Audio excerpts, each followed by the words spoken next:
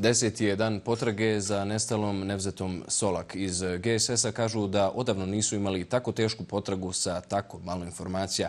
Detalje donosi naša Jovanka Nina Tudorović. Ni deseti dan potrage za Nevzetom Solak nije urodio plodom. U potragu su uključeni svi, dakle i članovi porodice, i komšije, i rođaci. Ono što je za sada poznato da je posljednji put viđena u autobusu za Goražde, dakle 20. februara. Inače, e, ona je 20. februara u 13 sati napustila e, svoju porodičnu kuću i kako se nije vratila do kasnih e, noćnih sati, porodica je alarmirala policiju da se uključe u potragu potragu za Nevzetom, od tada se vodi i kao nestala. Međutim, e, za sada još uvijek nekih zvaničnih podataka nema. E, porodica je sama razgovarala e, i sa osobama koje su taj dan bile u autobusu.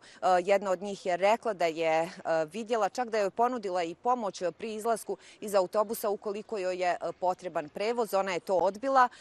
Pretpostavlja se da je prije toga jedan dio dana provela upravo ovdje u gradu kako E, tvrde upravo na neki način e, da kupi vrijeme do samog polaska autobusa e, za Goražde.